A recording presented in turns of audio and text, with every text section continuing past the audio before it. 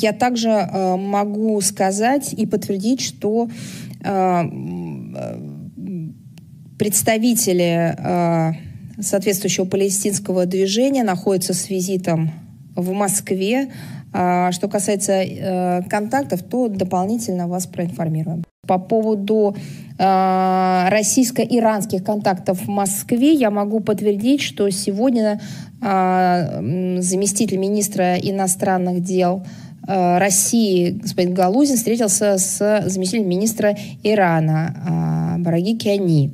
Э, я думаю, что в ближайшее время э, мы соответствующий материал также и опубликуем.